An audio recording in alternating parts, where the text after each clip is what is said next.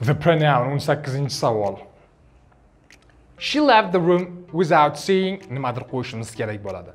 Bizni signal so'zimiz bu yerda without hech narsa deb tarjima qilinadi va inkor ma'noni beradi. Shuning uchun bizda some degan so'zlarimiz qo'shilgan gaplar chiqib ketadi. Xo'sh, see ham chiqib ketadi, chunki without bilan no way umuman to'g'ri kelmaydi.